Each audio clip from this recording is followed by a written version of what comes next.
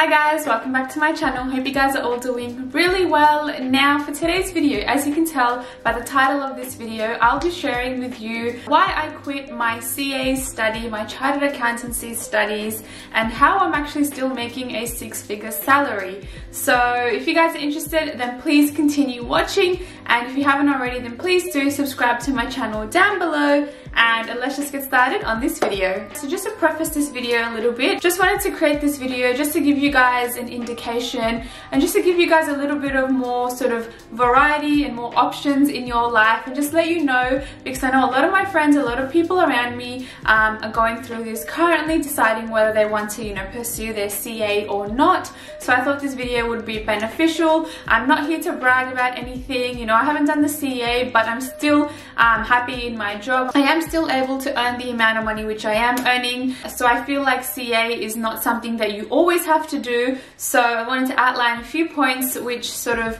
you know, you guys should take into consideration before thinking about, you know, stepping into the whole, you know, post-grad study sort of program. Now, all the information that I will be providing is based off of my own experience. This is exactly what I went through and this is why I think um, if you're in the risk consulting or internal audit fields, you do not need to do your CA. That's personally what I think, it's my opinion. Um, I'm saying this based off of all of my experience. So if you're in the same boat as me, or if you've, um, you know, you're currently in a job and you're thinking about the same thing that I did a few years ago, then this is definitely the video for you. So I'm just gonna start off by giving you guys a little bit of context and background as to what you know, I did at KPMG and how I sort of came about that decision to quit my CA. I worked at KPMG for about two and a half years. I was there as a graduate. I started off as a graduate and I worked my way um, for two and a half years to almost become a senior consultant. So I left just before becoming a senior consultant because obviously there were other opportunities for me. So I took that. But in my whole entire two and a half years, I did not need to do anything that was accounting related,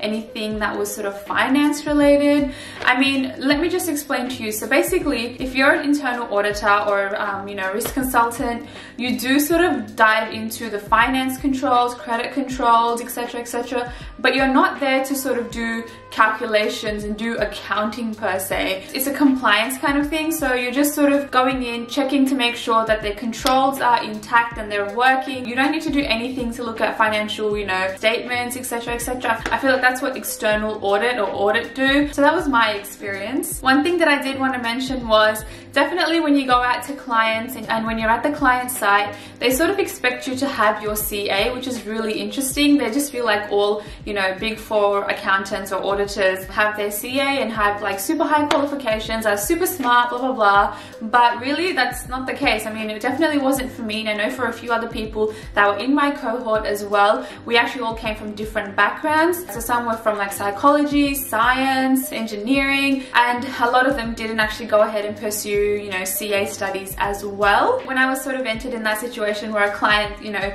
knew that I didn't have my CA, they sort of think that you lose credibility, they don't have that trust in you, but to be really honest, you're not going to apply any of those um, CA skills into your day-to-day -day activities while being a risk consultant or an internal auditor. So I sort of thought that it was not beneficial in, in that regards. You've just got to explain to the client just to make sure that you, you know, they trust you, etc., etc., that you're not really testing the financial aspect of things. You're looking more, you know, bird's eye view just to make sure the control perspective is operating effectively. And just to let you know, a lot of people at KPMG were just studying CA just for the sake of it because they didn't know what else to study and they felt like because everyone's doing it, they, they should sort of jump on the bandwagon and start studying CA, whether it provides them any value or not. Because obviously, as you all know, you know, everyone says that CA is just really, um, it's really good, it's a good qualification to have. Um, if you want to change from organization to organization, people look at it very highly and, you know, you're sort of ranked higher when you are, you know, going through that interview process, etc etc I mean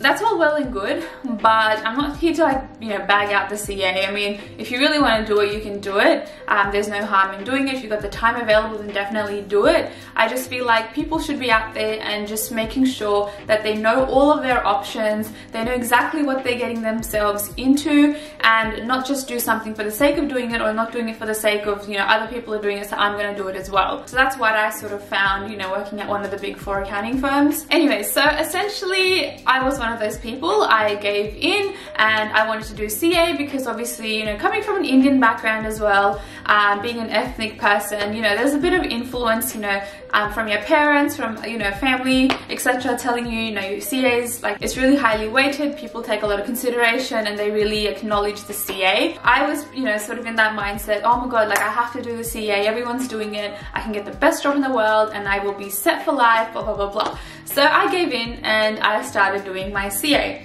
Now, to give you guys a little bit of more context, um, during my university course, I didn't do any accounting or finance. So basically, I did economics and commercial law. So with the CA, especially in Australia, I know that you have to have done some sort of prerequisite study that can, you know, credit your um, degree that you did at uni and then you're able to do the CA. Whereas in my case, I actually didn't do any of the accounting subjects. So I had to actually do a bridging course. Now, this bridging course would allow me to sort of gain those credits or those prerequisite courses to be able to do the actual CA. So I started off with the bridging course. Now, the bridging course, it depends on how many subjects you are going to be credited, depending on how many subjects you did at uni that were relevant for the CA.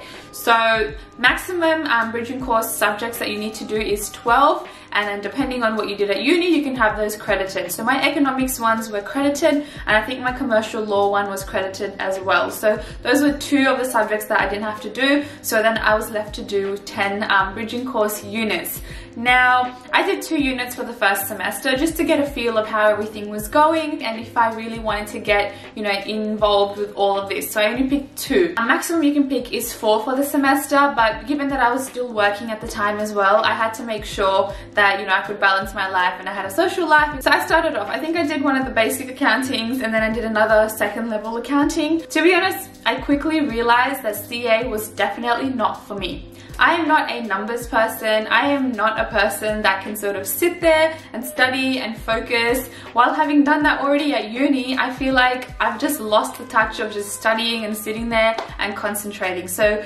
quickly realized that was not for me. I still went ahead and did the two um, exams. I had passed the exams, which were good um, by like just this much to be honest. I just passed. So I just like I felt like when I was doing my bridging course I didn't feel the passion. I felt like it was something that was forced and I didn't really commit to it and I kept sort of just putting it off and it wasn't something that I was interested in because you know just hearing a lot of you know conflicting views around me saying some people saying that you should do the CA some people saying you shouldn't do it it's not required for you.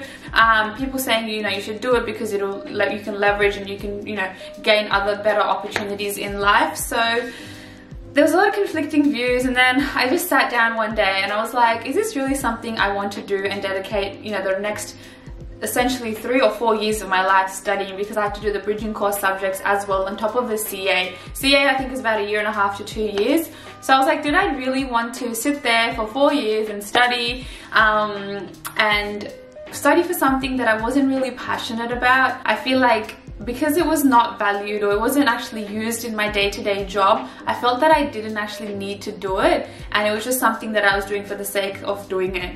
And that was not making me happy, so I quit. So all the positives for me to leave were outweighing the negatives and that is why I quit. As soon as I had quit actually, like even though I had to pay for the two um, subjects, I quit instantly and I felt like a massive weight was put off my shoulders. I was like drowning in the amount of study that I had to do. It was really funny and I had to study over summer break as well um, during the summer holidays and like all my friends were out and I didn't like that I really was about, I'm a person that's all about, you know, work-life balance, socializing, and doing things that you love and you aren't forced to do. So I was always about that. So I don't know why I jumped into this. So my bad for like jumping on and not, you know, properly doing my research. So I just wanted to give you guys a little bit more context as to why I actually quit my CA. Um, so that's sort of the backstory. I feel like I've already given you the answers. So five reasons why I quit the CA. First one was I hate studying. I can't sit there, I don't have the the patience to sit there for long hours, to sit there and study and do something else, especially, you know, after leaving uni. I felt like I was done with that study life. I was so happy when I left uni that, you know, I never had to study again. Um, and then here I was doing my CA and I was just like hating life. So I don't want to sound like, you know, CA is so bad, like it's, you know, you should never do it, blah, blah, blah. But you've got to just make sure you know what you're doing, you've done your research and you've spoken to different people as well. I've just felt that my time could be better utilized elsewhere, um, especially because at the time I was also looking to starting my YouTube channel as well. I was like, do I want to sit there studying for four years of my life and not being able to start a YouTube channel, something that I absolutely love and I really want to do, or, you know, sit there studying. So I feel like that was just a good way for me to sort of weigh things out. If you're in the same boat as me, then I do definitely recommend just seeing what your options are. Um, if you know you struggle at studying and if you know that you can't sit there for long periods of times um, doing something that you don't like and something that's not required of you, then I do suggest looking at other options. Maybe it doesn't have to be a CA that you need to study. It could be something else that's actually relevant to your role as well. So be sure to do some research and look into it a bit more. Uh, for example, if you're an internal auditor or a risk consultant, you could be a certified internal auditor by getting your internal audit certificate um, which is also very much renowned and well known around um, the globe as well. So um, you could definitely look at other options, but because I hate studying, I did not go any further. Number two, you should not just do your CA because everyone else is doing it. Ask yourself, does this actually bring value to your current job, to the rest of your life, to your prospects, other opportunities that can be presented to you in your life? I can definitely guarantee you this, if you're in risk consulting or internal audit, you do not need your CA. You can actually go ahead without performing your CA or completing your CA because as I mentioned, a lot of the work doesn't actually require that sort of financial investigation, looking at financial statements, um, any sort of calculations or accounting principles as such. You don't even need to use MYOB or MYOB, any of the accounting softwares or programs. So um, I can guarantee you definitely um, if you're in that sort of division, and I was actually in FS as well, I was in financial services, so it definitely does not require any sort of accounting knowledge.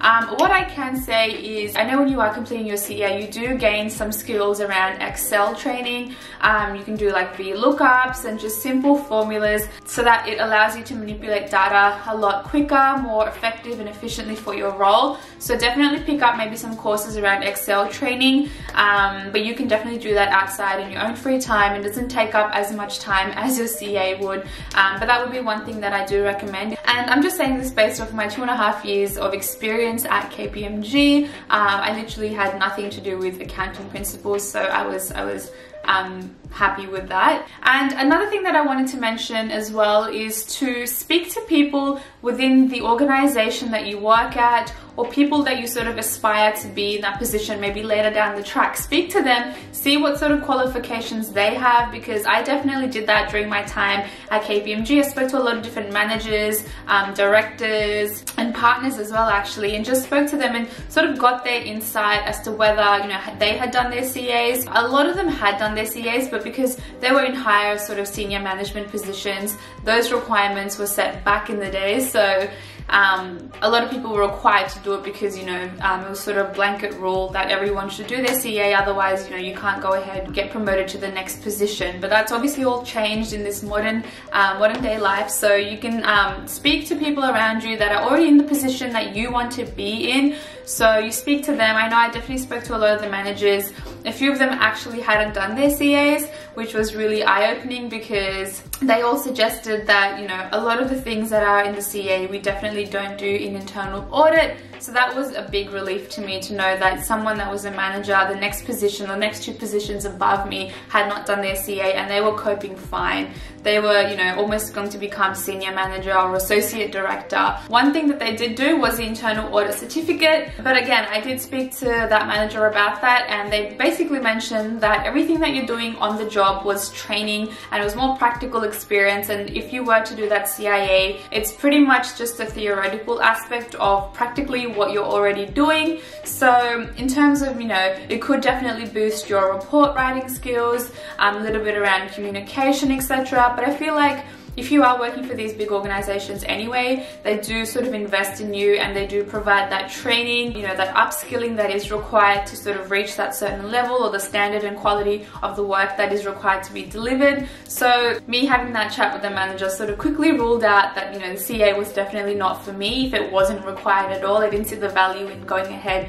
and pursuing it and, you know, taking up four years of my life. And also not to brag, but um, me not having completed the CA, a lot of people, I get a lot of DMs DMs, a lot of emails asking me, you know, if you don't do your CA, how do you move up in the industry? How do you move up in your job? I mean, I left um, one of the big four accounting firms to pursue a role in the banking industry and I was able to quickly um, get into a role that was earning a six-figure salary and without having done a CA. And, and to be quite honest with you, I actually, during the interview process of this banking role, I didn't actually get asked, you know, whether I had a CA or not. I feel like a lot of external sort of companies assume that if you're coming from one of the big four that you do have your CAs but I mean I was definitely not asked if I had it. I mean they had their they had my resume in front of them my CV in front of them and I had no questions asked about CA and just to give you guys a little bit of um, perspective as well so I'm a risk manager in my current banking role and I've been here for a year now and I haven't actually needed to apply any sort of CA sort of skills or accounting principles per se. I can definitely attest to the fact that you do need Excel sort of skills. It definitely does help you, which I have been doing training on that. And I have mentioned that I have been doing Excel training through Skillshare. Hey guys, I hope you guys are enjoying today's video. I just quickly wanted to pop on and introduce today's sponsor, Skillshare. You guys have heard about Skillshare in my previous videos. And because I love Skillshare so much, I wanted to share some of the online classes which are available with you guys as well so you're able to benefit from them. I know I mentioned a lot of the classes around Excel training which I still definitely do love. A lot of classes around motivation, um, productivity. So there's definitely a lot of courses available. You just need to make sure that you do your research and find something that is of interest to you. So as you guys all know, Skillshare is an online learning community with thousands of online courses ranging from entrepreneurship, marketing, filmmaking, drawing. So yeah, it's basically designed for curious and creative people who want to learn and teach yourself and just pick up a new skill. So one class that I definitely did want to share with you guys was around creative breakthroughs, um, eight exercises that can power you through your creativity, confidence, and career. So this class is by Danielle Krysa, who is an artist and author from The Jealous Curator. Now, this is all about, you know, the power of those aha moments that you have and how you can really take advantage. So this has definitely been one class that I've definitely been loving. You can pick and choose um, what you'd like to see and you don't need to go through the entire course but um, yeah, so that was one class that I did want to share with you guys. And completely off topic, I wanted to actually show you guys another course which I've really been enjoying. It's a filmmaking course, um, filmmaking from home, turn around footage into a compelling video. So this is by Penny Lane, who is a filmmaker and I've just gone through here and she's really good at sort of showing you um, different editing styles and choosing clips and you know how to actually refine your videos and make it look that extra bit put together. So yeah, she shares what she's learned so you can also do the same as well and benefit from her. And in terms of the price point, Skillshare is only $10 per month with the annual subscription, which is super affordable. I know there's a lot of courses out there which are super inexpensive, but with $10 per month, um, I think this is a no-brainer. So Skillshare have been nice enough to provide the first 1,000 subscribers who click on the link in the description box below and you'll be able to get a two-month free trial of the premium membership, which I think is amazing. So the entire library will be open. You'll, you'll be able to, you know, check out all the courses, get a good feel of how everything operates and find what sort of interests you. And if you're really unsure whether you want to, you know, go ahead and um, use Skillshare, then just click on the link below, try it out. You've got two free months because at the end of the day, it's only $10 per month. So um, definitely check it out. Click on the link below. And yeah, thanks guys. Another reason why I think that, you know, if you're within the same field as I am, then you don't need a CA is because if your job doesn't actually require it, then why would you go ahead and do it? You could utilize your time better elsewhere. I know with a lot of the large organizations or the big four accounting firms, if you did want to do some sort of study or postgraduate study um, besides CA, they usually do keep a small budget for their staff members just to allow them to upskill and train themselves. So if it is in line with what you're doing, then you can definitely get part of your study waived or you know the firm will pay for it, but you've just got to look into the internal policies and see what that what that organization you're working at offers because it can be very very expensive. So definitely look into that. I know I had to pay for the bridging course out of pocket and that was going to cost me 10 grand. So I know I think CA is about 7k all up um, which is about 17k with like further studies. Even though KPMG um, was willing to offer for the 7k, 10k um, out of my own pocket, I felt like was just a little bit too much and it was a bit too expensive and it was definitely out of my budget. So that was another reason why I didn't go ahead and pursue the CA. Now, if you are looking to pursue your CA, then you do need to think about, you know, how much time you need to set aside. I know there are strict deadlines and, you know, submitting assignments on a weekly basis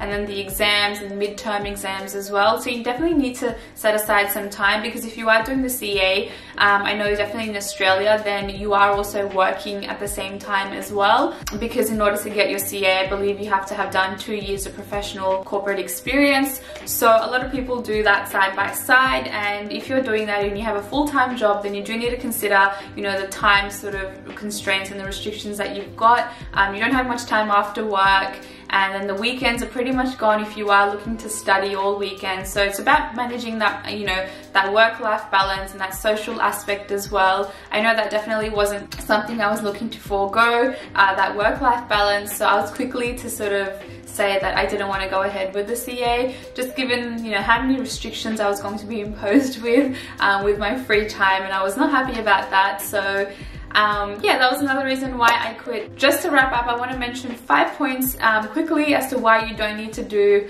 um, or complete your CA if you are in the same position that I am. Don't just do CA because everyone's doing it. Look outside the box and think, you know, what other courses or what other study you could possibly benefit from, something that would actually give you maybe value. Do your research. Does your job actually even require you to do a CA? If not, then I don't see why you should be going ahead and doing it. It is a good qualification to have, I mean, but if you're already in the job that you currently love, then what's the point? Like you can just move your way up into that in that field that you're already in. People always say that you know you can get other opportunities but if you're already happy in your firm and your job doesn't require it then why go ahead and do something that's so irrelevant? Um, as mentioned is there another degree that you could possibly do as well? So definitely make sure you do your research and speak to people around you. I've gone through this career advisors. You can definitely ask me if you're if you are interested um, in knowing a little bit more. So you can you know send me an email. You can leave a comment in the description box box below and I'll definitely answer that for you. But those are the reasons why I quit my CA. I hope you guys found this really informative.